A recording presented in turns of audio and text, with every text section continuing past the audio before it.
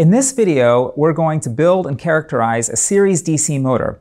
What I've done is I've taken the motor that we put together in the second video in this series on motors, and I've replaced the permanent magnets that form the stator with an electromagnet. Now before we go and characterize this DC motor, let's take a look at some of the results that we got with the previous motor to review some important concepts. These are the results that we measured in our third video in the motor series. We obtained an approximately linear relationship between speed and torque, and that's exactly what we expect with a permanent magnet motor. If you go and buy a motor, sometimes you would see something called the rated speed and the rated torque. Let me tell you what is meant by the rated speed and the rated torque. First of all, if we look at this graph, there are two danger areas, so to speak, with the motor. If a motor operates at a speed that's too high, it can fly apart. If a motor operates at a very high torque, you might recall that torque is proportional to current. If the torque is high, then the current is very high. And if the current is very high through the windings of a motor, then they can get hot due to resistive losses and the motor can burn up. Therefore, motors have a rated speed and a rated torque. You don't normally want to operate a motor at least for very long, at any speeds that exceed the rated speed, and you don't want to operate a motor at any torque that exceeds the rated torque. As you might recall, the highest speed that a motor can reach is called the no-load speed. That's the speed that a motor spins at when you don't have any mechanical load attached to the shaft. All of the mechanical power that a motor produces at the no-load speed goes to overcoming friction. Similarly, the highest possible torque that a motor can reach is called the stall torque. That's the maximum possible torque when the motor stops spinning completely. With a permanent magnet DC motor, we expect a roughly linear relationship between speed and torque if the voltage is held constant. If we were to, for example, lower the voltage, then the entire curve would shift down.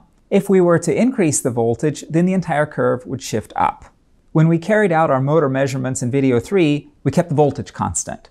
Before we move on to series DC motors, I want to take a quick look back at the equations that cover a permanent magnet DC motor so we can review why we expect that curve to be linear.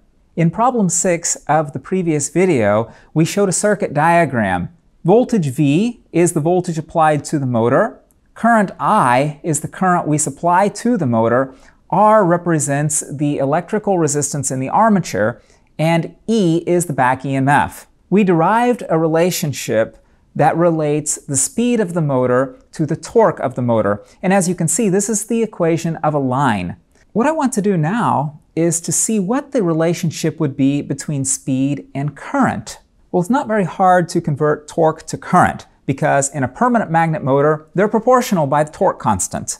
If I substitute in for the torque, I also obtain a linear relationship between the speed and the current. But this is only true for a permanent magnet DC motor. Let me show you why. As you might recall, in our previous motors, we used permanent magnets as the stators. Typically, these are only used in small motors. Large motors nearly always use electromagnets for the stators instead. Now, there are two ways of wiring up a stator. One way is to wire the electromagnet in parallel with the rotor. In that case, the magnetic field is constant, just like in a permanent magnet DC motor. In that case, it's called a shunt DC motor. The torque versus speed characteristics and the torque versus current characteristics are similar to those of a permanent magnet DC motor. The other way to wire up the stator is in series with the rotor.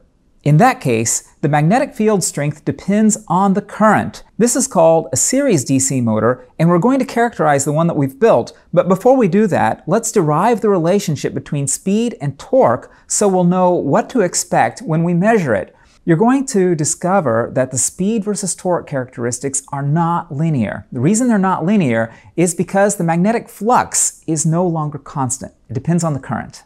Our goal, firstly, is to find the relationship between speed and current in a series DC motor. Let's assume that we apply a constant voltage V to our motor. The voltage source supplies a current I, but unlike the previous situation, we have an extra resistance in series with the motor. That resistance has a subscript F on it. F stands for field. Again, we're going to call the back EMF E.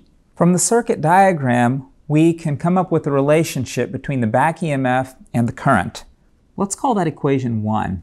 As you might recall, the torque in a motor equals the torque constant times the current. The only problem now, though, is that the torque constant is no longer constant. This is because the magnetic field produced by the stator is no longer constant. It depends on the current. So we're going to have to use a different torque constant for this particular motor. For a permanent magnet DC motor, the units on the torque constant were newton meters per ampere. As I mentioned in a previous video, though, it's possible to express the torque constant in terms of per Weber. That's what we're going to have to do here. We're going to use variable phi to represent the strength of the magnetic field. It's measured in Webers. Therefore, for this motor, we're going to use torque constant with a prime on it to indicate that this torque constant is going to be per unit Weber. Previously, in a permanent magnet motor, the equation for the back EMF was the back EMF constant times the speed. But the back EMF constant is no longer going to be constant because the strength of the magnetic field now depends on the current. So I'm going to do the same thing with the back EMF constant. Previously, the back EMF constant had units of volts per radian per second. Since this is no longer a constant, we're going to introduce an alternative back EMF constant per unit Weber. Let's call this equation 2. Now what controls the magnetic field phi? Well, it's the current through the windings. If you put more current into the stator, you're going to get a stronger magnetic field. In fact, the strength of the magnetic field should be proportional to the current. So I'm going to introduce another constant for this motor. Let's call it the field constant. Let's call this equation 3. I'm now going to substitute equation 3 into equation 2. Let's now substitute this new equation for the back EMF into equation 1. We can now solve this equation for our speed omega. As you can see, the relationship between speed and current is not a linear relationship. Because the current is in the denominator, there's something dangerous about this motor, and that is the following. As the current gets lower and lower, the speed gets higher and higher. So if this motor is operated without adequate mechanical load attached to it, the speed can get so fast that the motor can fly apart. Therefore, it's usually not advisable to operate a series motor without a mechanical load attached to it. Now, let's go ahead and derive the relationship between speed and torque for the same motor. Let's look back at our equation for torque. Our torque now depends on the current. If I take equation 3 and substitute it into our equation for torque, I'll get a new equation. The torque depends on the square of the current. For the permanent magnet motor, the torque was proportional to the current. Let's call this equation 4. If I substitute equation 4 into our equation for speed, I can find the speed versus torque relationship. As you can see, we have a nonlinear relationship between the speed and the torque. The motor will have a maximum torque because this curve will cross the x-axis eventually. Now where it crosses the x-axis depends on the values of all these constants. But as the torque becomes very low, the speed of the motor increases quite a lot. In a minute, we're going to go over and measure the speed versus torque characteristics of our DC motor. But before we go over to the bench, I just wanted to point out that to fabricate the stator here, I didn't use coffee can this time. The metal in a coffee can is a little bit too thin in order to get the magnetic flux that we need. So instead of using a coffee can, I used one millimeter thick sheet steel. This is Q235 steel. It's soft steel, and I went over to a machine shop and had the stator fabricated there. Let's go over to the bench now and measure our curve.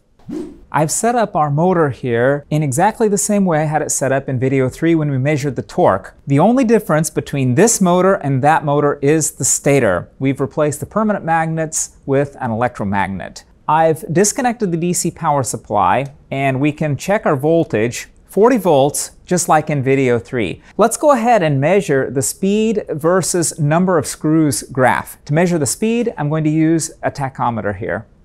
Let's hook up our DC power supply and measure it without any screws in the bucket at all. 273 RPM. That's significantly faster than the motor was with the permanent magnet stator.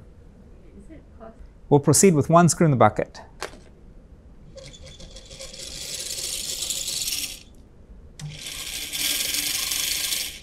Two sixty four. Two screws.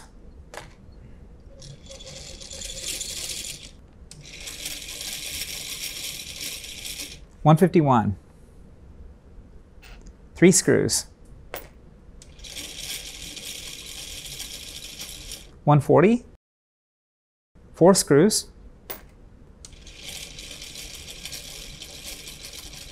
131. Five screws.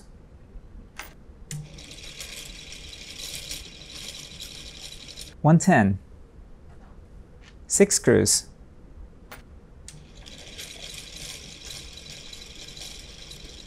One twenty. Seven screws.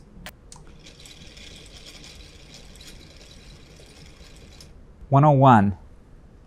Eight screws.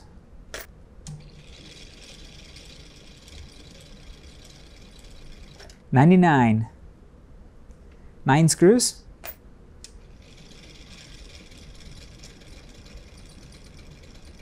Eighty-nine. Ten screws.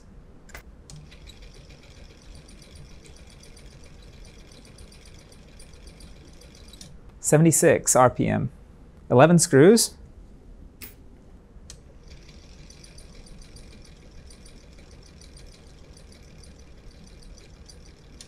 67 RPM, 12 screws.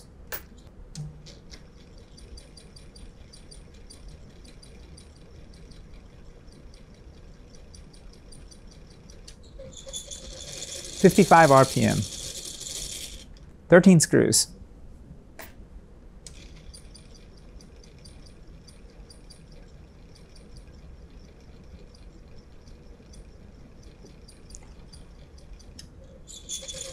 46 RPM, 14 screws.